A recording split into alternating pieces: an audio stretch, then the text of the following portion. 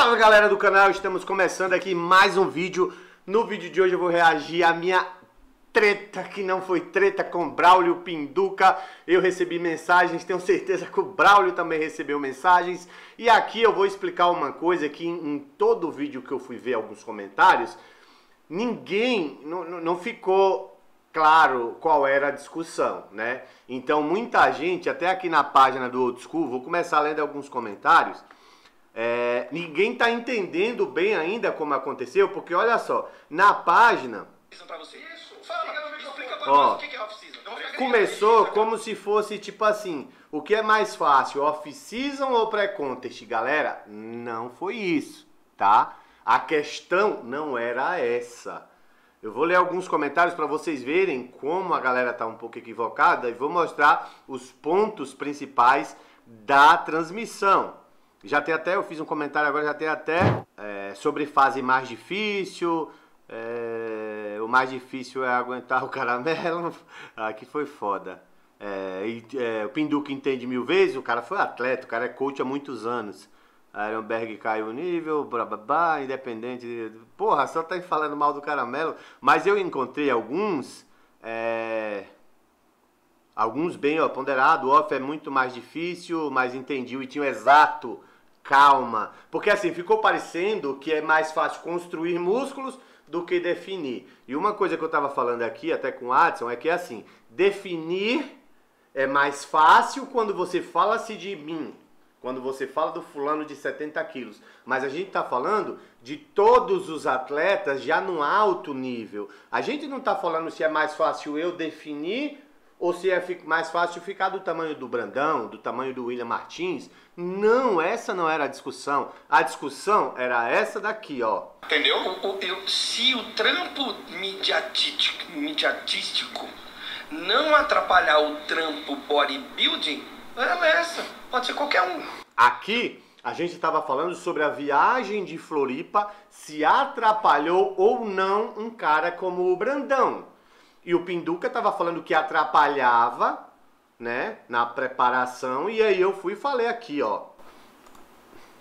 Entendeu? A gente não tá falando que o cara foi pra Floripa, depois foi pra Bahia, depois foi pro Sergipe. É cara, não, não, mas é, porra, foi 20 então, dias, cara. Presta. Um off. Não. Aí, ó.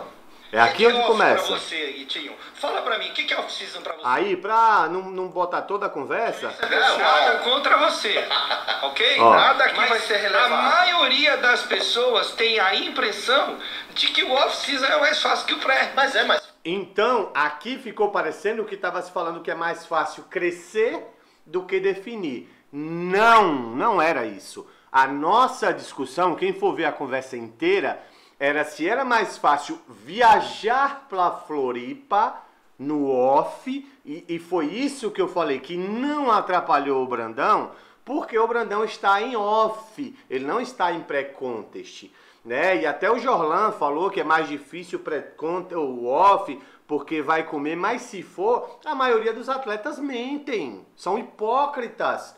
Porque até o Jorlan tem vídeos onde ele fala assim, que ele quer ver o nego dizer que tem garra quando ele sustenta a preparação, três, quatro meses, comendo só aquele pouquinho de arroz com frango. Cadê todo esse motivacional que você mostra quem você é quando você tem anos de preparação? Cadê todo esse motivacional? Né? Então, realmente, a fase do off é mais difícil porque você tem que comer ou a fase do pré-contest é mais difícil porque você tem que deixar de comer a mesma quantidade que você comia antes. Então, o que eu estava falando ali e, e o tema do debate era sobre viajar. E o engraçado é que eu não vejo nenhum filho da puta de um atleta viajar com a mulher para passear, para curtir na preparação. Todos eles falam, cara, não, na preparação é eu em casa e acordando, é minha rotina, minha mulher não pode me dar um bom dia diferente, eu não gosto de ouvir o latido do cachorro, então é aqui em casa. Tá, beleza, restrição calórica, sem carboidrato, é muito difícil. Aí você vê os caras em off-season pegando cruzeiro, indo pra balada, fazendo viagens com as esposas merecido, tem que viajar mesmo. Então, o debate era exatamente esse. Se é mais fácil você fazer uma viagem dessa magnitude, 20 dias para Floripa, né? Um paraíso. Floripa, né? Um paraíso. Ou se é mais fácil você viajar em pré-contest. Esse era o tema do debate, porque a gente estava falando se atrapalharia ou não atrapalharia os atletas. Então, o que eu vejo hoje em dia, e aí eu não estou falando de Brandão, não estou falando de ninguém porque eu não tenho esse convívio com ele. Estou falando de atletas que eu já tive a experiência. Né? O cara mora em São José dos Campos e ele quer um patrocínio. Aí ele chega para mim e fala: Não, Itinho, porra, eu vou estar tá em São Paulo todo dia se você quiser. Não, você é louco, São José é logo ali.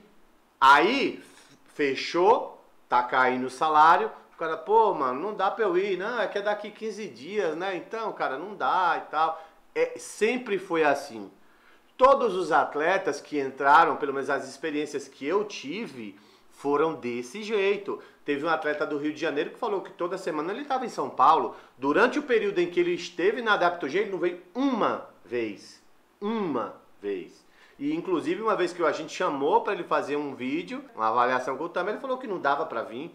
Então, assim, uma coisa é o que o cara fala, outra coisa é o que o cara faz. Então, mas é como eu falei, não estou falando de Brandão nesse momento agora. O tema do debate, da discussão, era uma viagem em. É tanto que eu falo, quando eu falo, ah, não atrapalhou não, o cara tá em off-season. Então é mais fácil viajar em, em pré-contest Cadê toda aquela, aquela, aquela galera que fala assim que, porra, tive que competir fora, então viajei, retive líquido, isso atrapalhou minha preparação.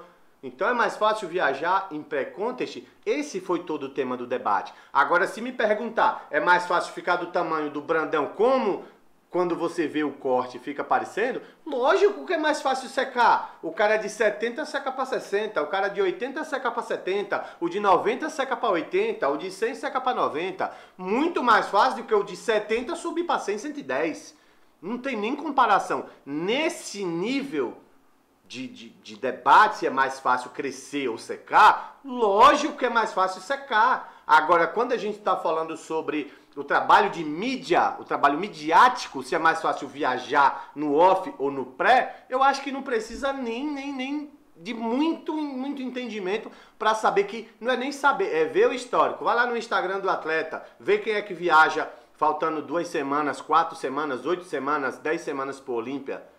Pelo contrário, eu recebo pedidos, ô, oh, tô na minha preparação aqui, se der para o marketing parar de, de mandar mensagem e tal, eu até ajudo. Então, assim, o debate, quando você vê o vídeo, parece uma coisa, e quando você vai para a realidade, quando você vê o podcast, você vê que o foco era fazer essa viagem para a marca que está te pagando um salário. É mais fácil em off ou em pré. Basta você ver, o podcast está aí, o minuto exato aqui onde eu falo, é, onde tem acho que o começo. Então, a partir das duas horas, vocês vão ver que o debate era focado em uma viagem a trabalho, se é mais fácil em off ou em pré. Então, espero que vocês tenham entendido aí o que acontece nos recordes ou nos Instagrams que ficam mal entendidos. A gente não tem o que fazer, mas aqui no canal eu tinha que mostrar para vocês qual foi o real foco do debate. Era isso que eu passei para vocês, então deixa aí nos comentários. É mais fácil o atleta viajar a trabalho em off ou em pré-contest. Não é sobre se é mais fácil crescer ou secar. Não é se é mais fácil fazer um off ou se é mais fácil fazer um cutting. Né? Estávamos falando em todos os atletas grandes. Se era mais fácil ficar do tamanho do Big Ramy ou secar como fio, né? Porque eu prefiro mil vezes chegar seco como fio do que grande como Big Ramy.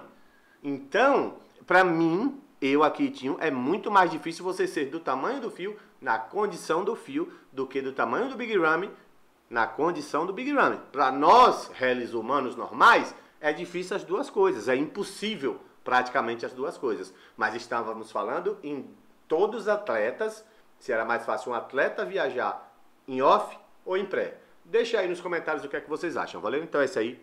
Ah, sim, galera, e eu queria falar para vocês que essas discussões tudo é justamente sobre a mesa redonda, tá, galera? Quando acabou a mesa redonda, eu e o Pinduca, a gente ficou ainda um tempão lá conversando. Chamei o Pinduca para estar aqui. Vamos debater a mesma coisa de novo. E aí eu vou esclarecer para vocês e deixar bem claro qual era o tema do debate, que não era se era mais fácil crescer ou secar, beleza? Então fica ligado, vamos ter aqui um podcast com o Pinduca para falar de booking, coaching, história do fisiculturismo. Então se inscreve no canal que vem muito conteúdo bacana aí, valeu? Tamo junto.